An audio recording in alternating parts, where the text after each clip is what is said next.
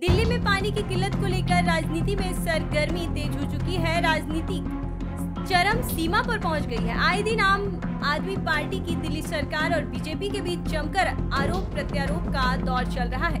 इस पानी के संकट को लेकर बीजेपी अब काफ़ी आक्रोश में नज़र आ रही है। बीजेपी के अध्यक्ष वीरेंद्र सचदेवा ने जल मंत्री अतिशी के विवादित बयान पर पलटवार करते हुए कहा कि जल मंत्री पाइपलाइनों में रिसाव ठीक करने और पानी की चोरी रोकने के बजाय आरोप की राजनीति में फंसी पड़ी है। इस दौरान उन्होंने कहा कि पास दिल्ली में पानी की किल्लत का एक बड़ा कारण पानी की बर्बादी भी है, जिस पर लगाम लगाने से दिल्ली से जल समस्या दूर हो सकती है।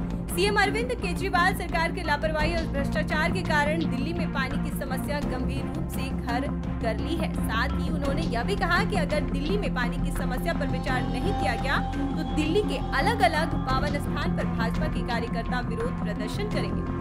इस दौरान बीजेपी के सांसदों ने दिल्ली के विभिन्न चौदह जगह पर जल संकट को देखते हुए भ्रष्टाचार के खिलाफ प्रदर्शन किया था और मटका फोड़कर संकट और केजरीवाल सरकार के खिलाफ भी प्रदर्शन किया था।